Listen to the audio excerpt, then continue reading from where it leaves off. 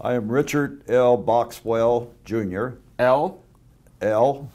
And uh, Can you spell it for the audience? uh, Richard, R I C H A R D, L period, Boxwell, B O X W E double L, What is your birthday? 62232. You born in 1932? Yes, sir. You look like you look like a 60 or even 50s. People will be I am 84. In, unbelievable. in two months, I'll be 85. you look amazingly young. What is the secret? I've taken care of myself. I, uh, I've had some major operations, but I'm a good, good exerciser. What do you do? I just do calisthenics. I go gym. I go to the gym about three to four times a week. And uh, what do you do? Running? I, what do I do In gym? in the gym? I do uh, arm and leg exercises mainly, and uh, not much of full body. Uh, try to watch my weight. My weight got up a little high a couple weeks ago, and I've lost 12 pounds. And uh, happy to say that it's uh, hard to do, but I did it. But I just enjoy life. I thought that you are the Korean defense veteran, not the Korean war veteran, because you look too young to me. I was one of the originals. Oh my goodness. Yes. Oh my goodness. It's a great honor to meet you, meet you the young Korean war veteran. Thank you, sir. Oh. Where were you born? I was born in Winchester, Virginia. Right here. Uh, graduated from high school. No, no, no, no, no. You, you're going too fast. Okay. Let me ask questions, okay? and tell me about your parents and, and siblings when you were growing up. Uh, I had a mother and a father, of course. I had a sister. Uh, my sister was seven years older than me. Uh, she used to have to babysit a lot, so she didn't like me too much. But uh, we, we were very good, very close. Uh, my sister died in uh, 1983 of cancer, had lung cancer. Uh, my mother and father were divorced in my senior year of high school. Uh, my mother was a very, very hard worker. She worked in a store, uh, in a clothing store, and uh, she also did a lot of work at home, took in washing, uh, ironing, and all that kind of stuff. My father was an alcoholic. Uh, he worked for People's Drug Store for many, many, many, many years. We didn't have any transportation. There was no car in the family or anything, so every place we went, we walked or rode with somebody else. Uh, my sister was a lovely girl, and uh, she had a good marriage. Uh, she raised three boys. Um, my uh, sister died very suddenly of can well not suddenly she had cancer for a long time and and uh, she died of cancer in 1983 i had been a big smoker and uh, i saw her smoking on the day that she died in the hospital which was a sad experience and uh, uh, that was in uh, march and april 1st i quit smoking and i haven't smoked since So you've been smoking and 84 years old, but you look like a 60 year old. No, I haven't smoked since 1983. But you smoked until But I haven't. Yeah, Yeah. yeah, yeah. I, uh, I, I have. So I can smoke until. Yeah, I, I, I have people tell me that I look a lot younger than what I am, but uh, there's a secret to it, and that's taking care of your body. And, Very nice. yeah. So, what school did you graduate? High school. High school, Handley High School, Could you spell it? H A N D L E Y, D L E Y. Handley. Hanley High School, Winchester, Virginia. When? Uh, June 1950. Same, So- same month that the war started. Did you know anything about Korea at the time? No, You didn't know my nation? no. I, I took a business uh, uh, subjects in school, and uh, I didn't have much history. Well, I had history, but uh, you know, anything that, that I heard about Korea was probably insignificant to me at that time. Uh, I heard a lot about it at the time that I graduated, and the first thing I wanted to do was join the Navy. But the school didn't teach about Korea. No. Not at all. Well, I don't know.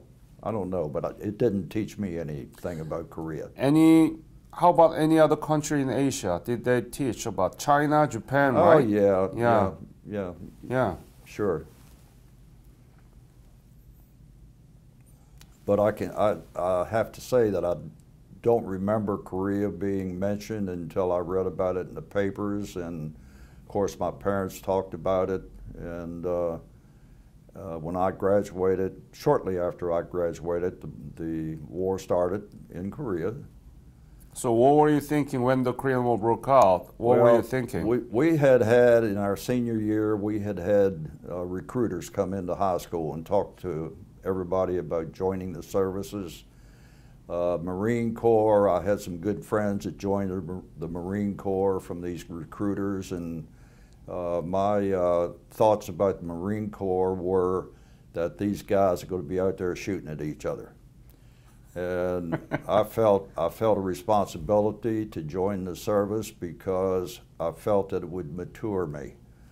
Uh, I was a kid out of high school. I didn't want to go to college, although I was I was uh, offered a uh, football scholarship by an uncle of mine, and uh, the only thing I wanted to do was join the service. Uh, since we were at war or whatever, and uh, I wanted to join the Navy. Why Navy? Navy, I felt that I would be safer than being on land, hand to hand battle, and all that kind of stuff. When exactly did you join the Navy from where? Uh, joined the Navy from uh, Winchester, uh, got on a bus, went to Washington, D.C., had a physical. Uh, they turned me down because I had an ingrown toenail. And the doctor said, go home and come back next month. So I went home and I went back in October and I officially went in the Navy in October of uh, 1950. So what did you do about your toenail? Came home, had it fixed. Uh, the Navy didn't want to do it for me. so so uh, I thought it was quite an inv- inconvenience because I was anxious to go and they put me off for 30 days. So you graduate on the month that the Korean War broke out, and when exactly the date that you joined the Navy? I joined the Navy on October 9th. Tell me about the boot camp, basic training. Where did you get it, and how was it? Went to boot camp at Great Lakes, uh, Illinois. Mm-hmm. Uh, boot camp was tough. Uh, we had uh, we went through everything from KP duty up to calisthenics with rifles on the KP asphalt. duty. What is KP duty? KP duty is peeling potatoes in the kitchen. uh, and everybody had Were to you do good? that. Oh yeah, yeah, Pretty good. yes. Good. Yes, but uh, uh, boot camp is uh, is a lot of uh, a lot of effort in trying to make you feel very, very important, but insignificant. they uh, they browbeat you, and uh, you know you have uh, inspections and all of this kind of stuff, and they just try to put the uh, fear of God in you. Uh, there's an old saying that says uh, there's one way to do things. There's a right way, there's a wrong way, and there's the Navy way. And you will do it the Navy way. And boot camp lasted about two months, and it was uh, very, very hard every day. Uh, cleaning up, uh, all kinds of bathroom duties, uh, calisthenics, swimming. Uh, they want to make sure that you can swim since you're going in the Navy.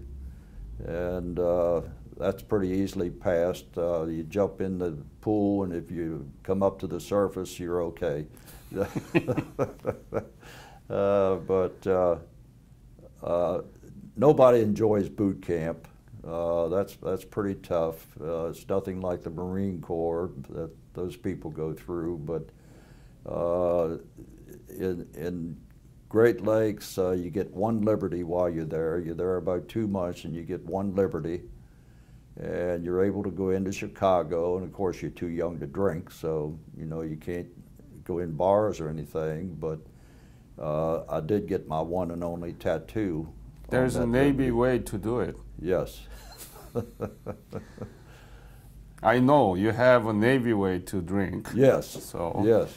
So tell me the truth, okay? All right. So from there, what what did you do? Where did you go? Uh, when I graduated from Great Lakes, uh, everybody is out on the tarmac and they're making announcements about who is going to go where. Uh, they announced my name and said that I was going to be assigned to the USS Valley Forge Oh, aircraft carrier. really? and there was nine other people along with myself that were uh, assigned to the USS Valley Forge. I knew nothing about it. I didn't know what an aircraft carrier was or anything else, but uh, uh, they gave us instructions and orders. I was in charge of the group because uh, my name was the first uh, letter in the alphabet. So I was in charge of these nine guys. Uh, our instructions were to go to Treasure Island, San Francisco, and get aboard the ship at that point. Uh, we went to Treasure Island. The ship was not there. They didn't have any idea when it was going to come in. Uh, this was in December, of course. Um, I was assigned duty in the pool hall, so for three weeks, I uh, went over and cleaned and swept the pool hall in the morning. I played pool all afternoon. Uh, at that point, uh, we were told that we're going to get on a troop transport, go across to Yokosuka. We took that ship. It took us 16 days to get to Yokosuka uh, to go aboard the Valley Forge, but the Valley Forge never showed up. So they put us on a train and sent us down to Sasebo and said we would go aboard the ship from there, and the ship never showed up after a week. So they said, uh, we have a, uh, a refueling tanker that's going out to refuel the fleet.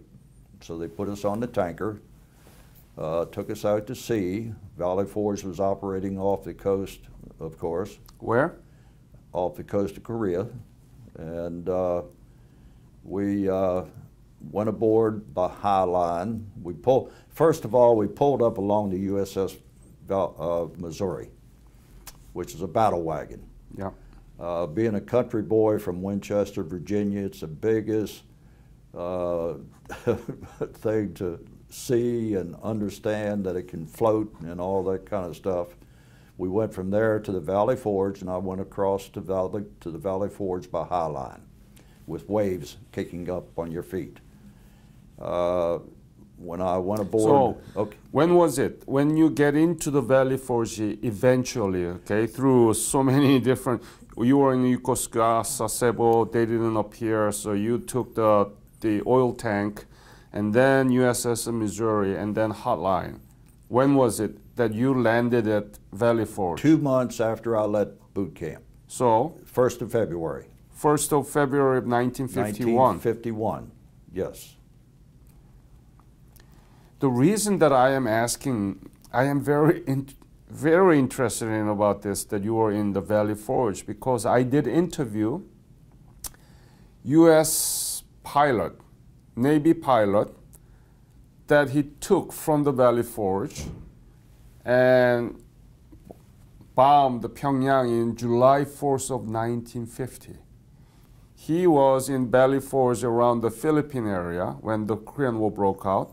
They came to the West Sea and they bombed Pyongyang. And I know this guy, Okay, William Gortney, okay, and his son was the commander of North Com- uh, the U.S. Navy admiral.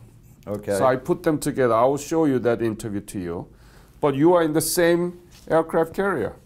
Yes, and Wow. And uh, this aircraft carrier Valley Forge was at Subic, Subic Bay in the Philippines. Yeah. It was the only carrier in that area anywhere, and it was called into Korean duty. Yes, It was the first carrier I know. to operate in Korea, and I was not on it at that time. I didn't go aboard until February of I know. 1951. Yeah, that's right. Yes. What amazing coincidence. Yes. Uh-huh. So glad to meet you, be able Thank to you. talk to you about this Valley Thank you. Forge. And when you landed in Valley Forge through the hotline, what were you thinking? Why am I here? Is it kind of, uh, am I going to fight here or something like that? Tell me about it. Yes, that was that was all in my mind. I was uh, like I always call myself a kid from the country, Winchester, Virginia, and I'm in a. I'd never been more than hundred miles away from home. Here I was, clear across the world. I was in a war that I didn't know that much about.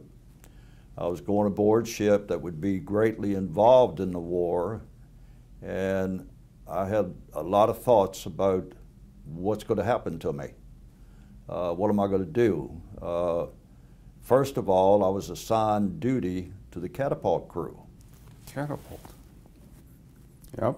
and I spent a year or a year and a half, I guess, up, up topside hooking up airplanes.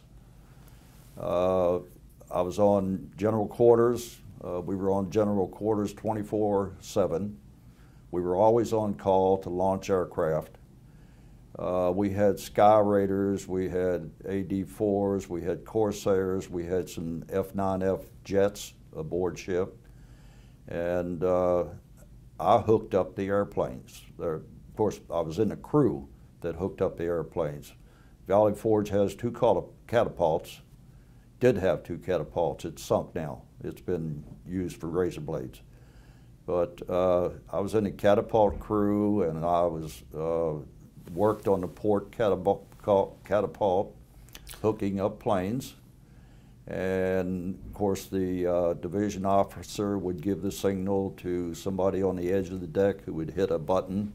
Light would come on down below in the engine room. They would hit a button and the plane would take off. Next one would come up, I'd hook it up. And I went through this, uh, like I say, for about a year and a half. Uh, in the process, I was run over by an F 9 jet. Uh, I've got a right ankle that's never been right since then. And uh, I was run over by the jet. I was in sick bay for nine days. What? Ran over by jet? Yeah. How did it happen? Well, I slipped on oil, on an oil spill, and my leg went out from underneath of me while the jet was approaching the catapult and uh, ran over my right ankle. And then, of course, I was screaming and hollering, but nobody could hear me. Too much noise. and uh, they picked me up, took me to sick bay. I was in sick bay nine days. They did What do you mean sick bay? uh, like a hospital Inside of the car- in- inside carrier. the carrier. Yeah. and uh, nobody would believe me that uh, I didn't hurt. they, uh, the carrier deck was wooden, and there was a lot of splinters in my leg.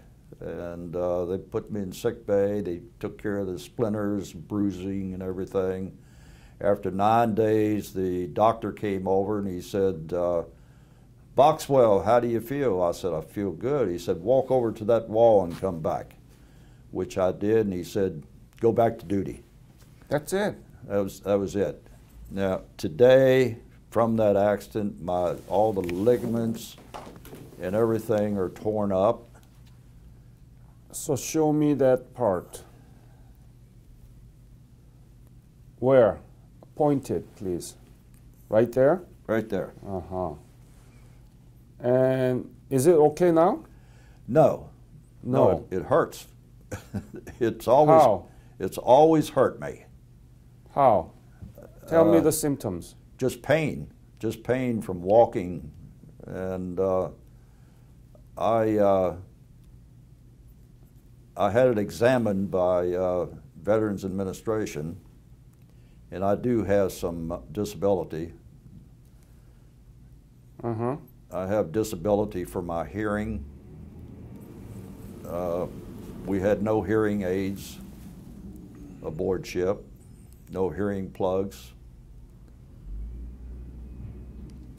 What about?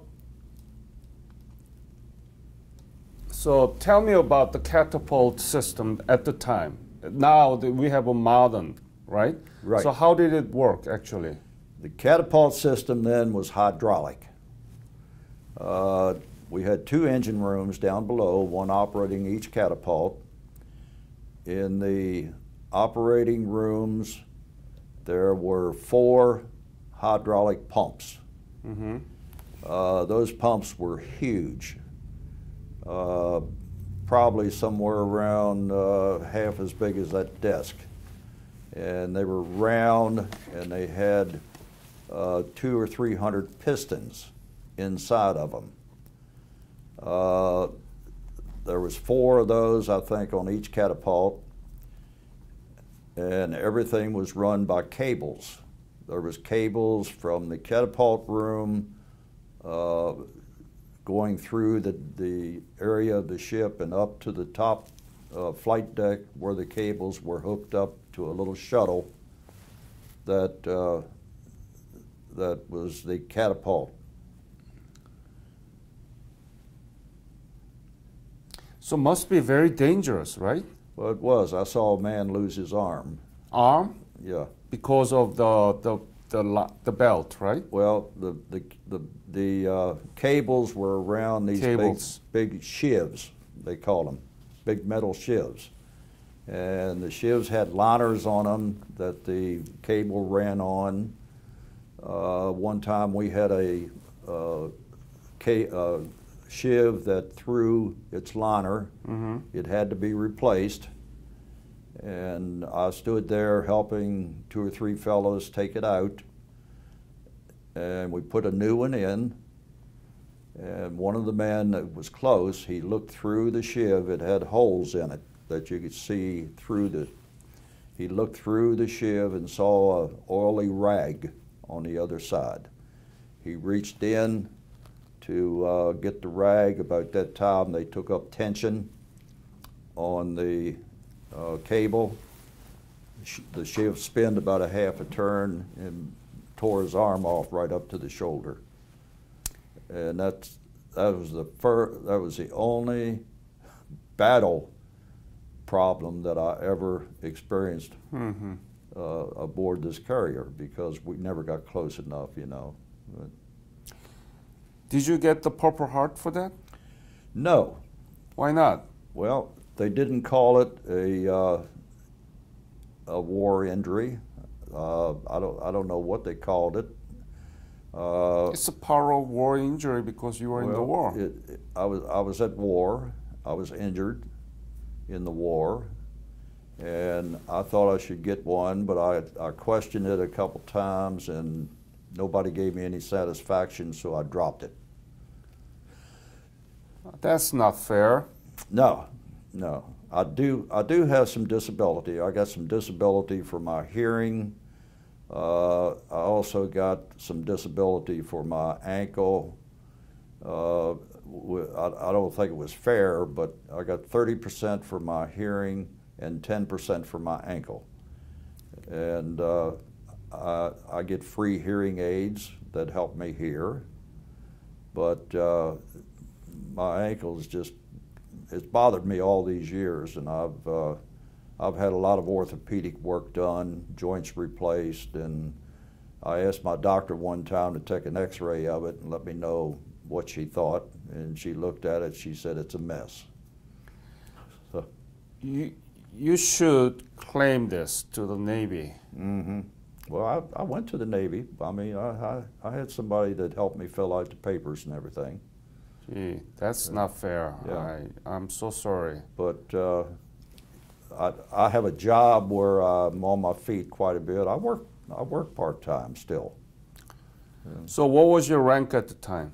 My rank was uh, aviation bosun's mate, second class. Aviation Bosun's mate. Boatswain's, B O A T. boatswain's yeah, B O A T S E N uh, with a S on the end of it, something made like that. yeah, and Yeah. made second class. Yes. And what does that mean in in terms of army the rank? What is it? Uh, probably Corporal? something like a corporal. Yeah. Are you sure? Mm, I think so. Yeah. How much were you paid for that? they need to te- teachers and students wants to know. It, it's been uh, it's been 67 years ago, and I don't even know what Hundred dollars? Is that too Uh, much? that, that would have been too much. Yeah, Eighty dollars? 50 to 75 probably. Yeah, Let's say seventy-five dollars a month. yeah. How was life inside of the carrier? I mean, you are the country boy from Winchester, and you are in the middle of ocean, and it's so huge, big ship. Yes. Tell me about the life there. Well, the life was good. Uh, we uh, uh, we had a lot of people aboard ship. Uh, an aircraft carrier carries about three to three and a half thousand people normally. How many? Three to three and a half thousand. Uh, when the when the air groups come aboard, that goes up by about a thousand and a half. So you know, total uh, five thousand men aboard ship. Of course, we didn't have ladies back then. Mm-hmm. Uh, people were people got bored uh, being out. We were out at times for five, six months out in the ocean, and uh, we'd go back in periodically to Japan to uh, pick up provisions, uh, pick up some more airplanes if we needed them, and and uh, then go back out. And there, the Valley Forge actually did uh, three combat missions, did four combat missions to uh, Korea. Uh, I went aboard in the second mission, and I was there for the second, third, and fourth aboard ship. I loved it. I loved it. Uh, Why? Well, it, it was it was people that, that I really got along good with. You you know, you with people from all over the United States. Uh, we had some good guys. We had some bad guys. Uh, we had guys that liked to fight. They liked to pick fights and for exercise and something to do. And, and I got into one of those once, and that was all for me. I I could find better ways to entertain myself.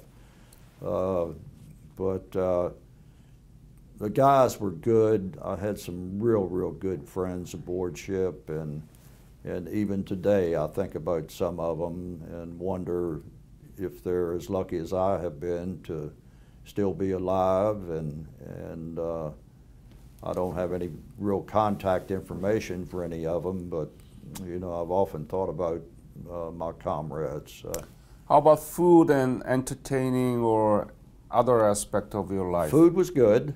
Uh, food was interesting because we always got to go to the front of the line. Uh, we were we were at general quarters all the time, and we never stood in line for anything.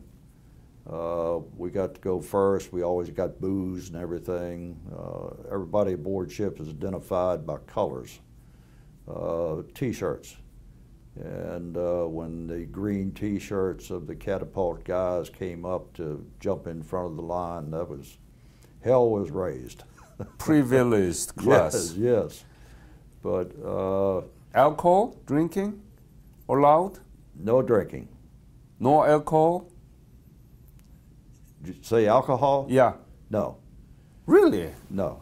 Now, now the ship had, the ship had a couple big rooms down in the bottom where they carried beer. Yeah, beer is alcohol. Beer is Yeah. alcohol, but uh, it was restricted. You don't use it aboard ship. Uh, if you had a division, there was many divisions aboard ship with many men in them, and sometimes the divisions, when they knew we were going into Japan or something like that and going to be there a few days, they would schedule division parties. At that point, uh, they could ration beer from the ship and take it ashore for their Oh. party. But uh, never, never any alcohol available aboard ship. Not even officers? Officers, yeah, They did. yeah, That's not fair, yeah. right? No, Do you agree with me? sure. Uh, the- so I bet the- that you the- guys complained a lot, right? Well, the, the, the, the thing is that you have to realize uh, the catapult engine rooms were in officers' country. That's where all the pilots are. That's where all the pilots are staying. Uh, every night they were playing cards, they were drinking, and uh, they had a reason for it because they were doing something very, very serious, and they didn't know if they would take off tomorrow And die. and die. And uh, My father was pilot, so I know was that. he? Yeah. Okay. So that was allowed. That was allowed aboard ship. Uh, it was noisy at times, and uh, they, I mean, they were partying, and uh, they they had some pilots that were uh, were really really hyped up with this thing. I mean, they just loved what they were doing, but they realized in their mind that one day they may not uh, come back to the ship. One of them was William Courtney. He was captain, Mm-hmm. and I did an interview, and his son became the admiral. He, so he was in charge of Norfolk Fleet Forces, U.S. Fleet Wow. Forces in Norfolk, Yeah. Virginia, and Yeah, that was lucky. yeah. So, so you never landed in Korea, right? Never landed in Korea. Mm-hmm. Yeah. And when were you discharged? Discharged uh, July 20, uh, let's see, July 22nd was the end of the war in 19, I was discharged in 1954. The war ended in 1953. Yeah, but when were you discharged? I was discharged in uh, July 27th, Uh huh. 1954 Oh, at Norfolk. so tell me about the Korea. You did. You told me that you didn't have any idea Korea was, where was, and you didn't landed in Korea, and you know that the Korean War completely destroyed Korea, Mm-hmm. and you saw the pictures, right? Yes. Have you been back? Have you been to Korea? No, I haven't. And Do you know what Korea is now, right? I know what it is. Economy, democracy, and South, technology. and South Korea has one of the biggest economies in the world. And uh, they're sitting there uh, with this idiot up north, not knowing what's going to happen. Uh, he could he could blow Seoul off the map if he wanted to.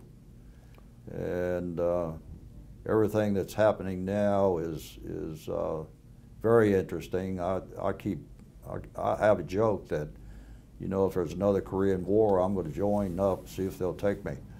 I will let you because you look too young. But so from country boy of Winchester, Virginia, middle in the ocean, participated in the war. You know the Korea in 1950 and now Korea. What is it? Why were you there? What is the legacy of your service and what is Korea to you? Well, I learned a lot about Korea from the war because uh, uh, I've, got some friends that that uh, were in the army, etc. Uh, we have the KWVA chapter here in Winchester, which is very big. Uh, Korea back then was uh, uh, somebody that was hooked up with the, up north, North Korea. They were hooked up with the Chinese, and uh, I have a good friend in our chapter that uh, tells a story once in a while. He said when the war broke out, I was in the army in Japan, and they transferred me to Korea, and I joined the Chinese Army seven days later. He was captured, Hmm. and he spent 35 months in a, a POW camp, and uh, still living, still living and kicking. Nice guy. Here. Yes. I think I did an interview him. What's his Ed name? Real. Ed Real. Yeah. Yeah, Ed Real. He's he's a good guy. Yeah, I, He's I got, did. he, he's got a lot of problems, but he's a good guy.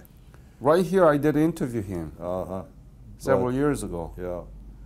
But, uh, you, you know, there, there's so much going on in the world now with, with, uh, with Korea and China and, and uh, you know, people uh, tell me, and I believe it, that if this guy in Korea launches missiles in the wrong direction or whatever, that they're going to they're going to level North Korea. And I imagine they can, uh, but it's a horrible thing to think about, really.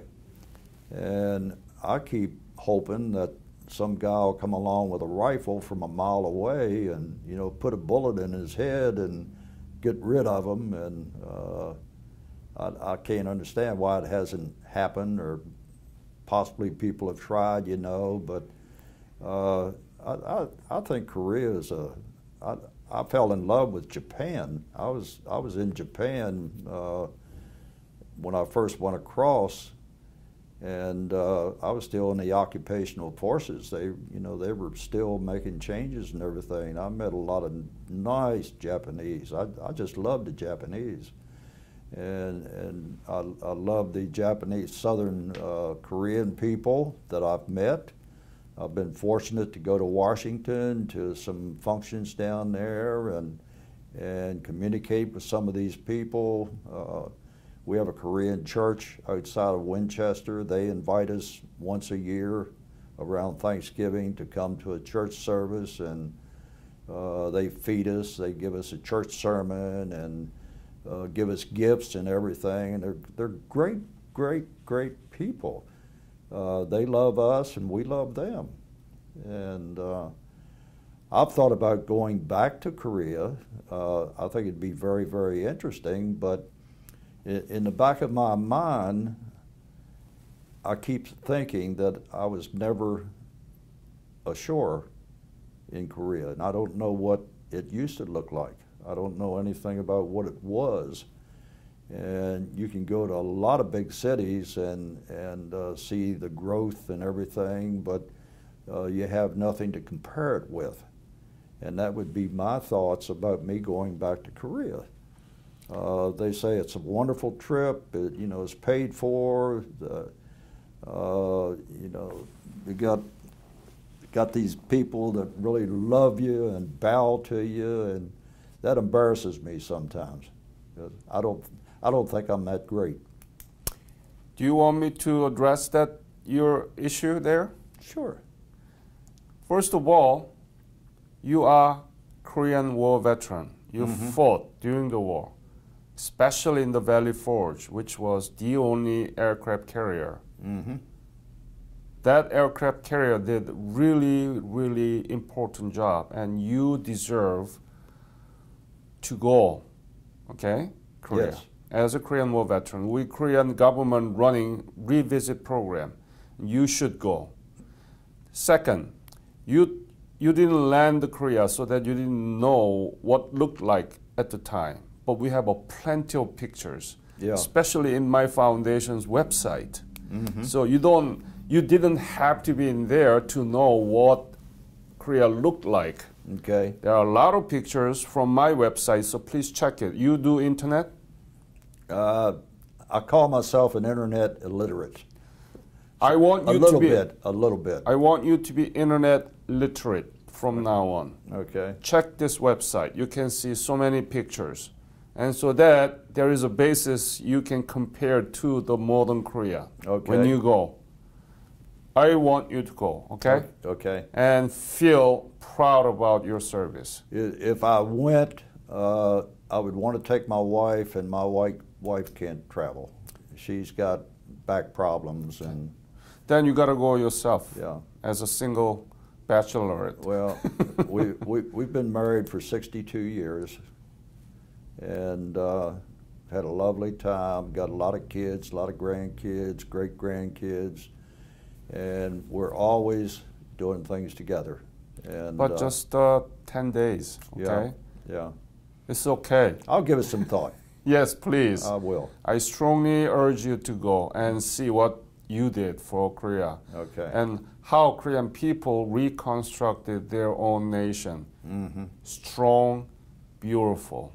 Okay? Yes. I don't want to sound like a President Truman, I mean the Trump, but it's a good country. Your hair is the wrong color.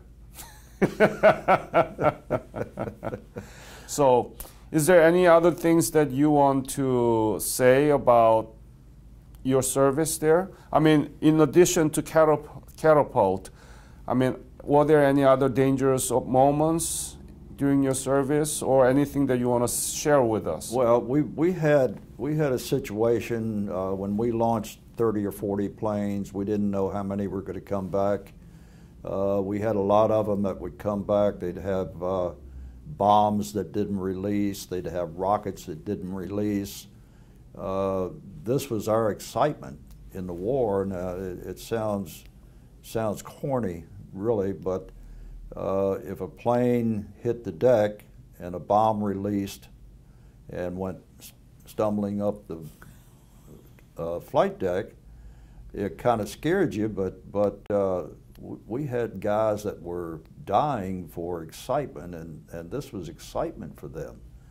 Uh, and the ordnance crew would run out and pick up the bomb and disarm it real quick and throw it over the side of the ship.